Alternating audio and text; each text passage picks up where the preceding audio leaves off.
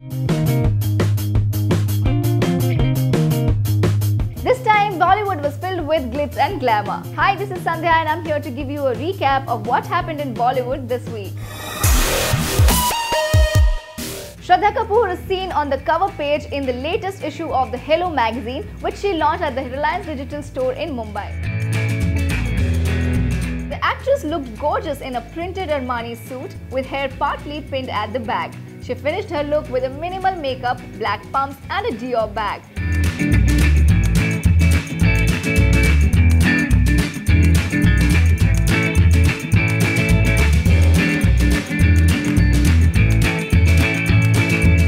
On July 21st in Mumbai, a very glamorous event was held which was the Vogue India Beauty Awards 2015. A lot of stars were spotted there.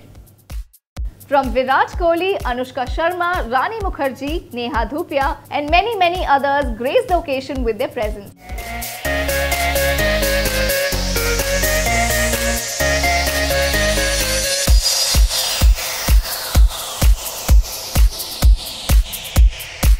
A special screening for the movie Masaan was kept recently in Mumbai and for no one to miss the screening, the screening happened for two days. On day 1, that is July 21st, we spotted Neil Nitin Mukesh, Kalki Kochlin, Eli Avram, Rajkumar Hirani and on July 22, the second day, we spotted Sonam Kapoor, Yami Gupta, Pariniti Chopra, Richa Chadha, Nazruddin Shah and many many others.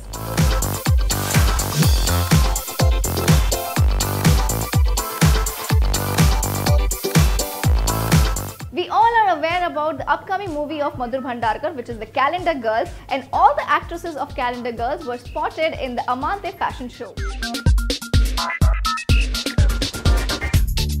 Among the models there were Avni Modi, Satarupa Pyne, Akansha Puri, Ruhi Singh who walked the ramp at the glamorous fashion show.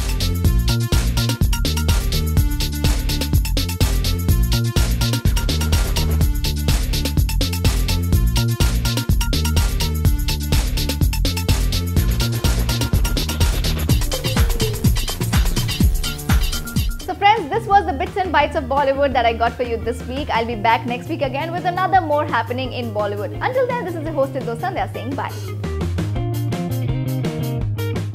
Shit, yeah, what was the word? Hmm, What was the word? Glamorous. Recently, uh, July 21st, is the Vogue India. We all are aware about the upcoming uh, movie of Madhur Hunt. Uh, shit. Recently spotted at the Amante Fashion Studio fashion show.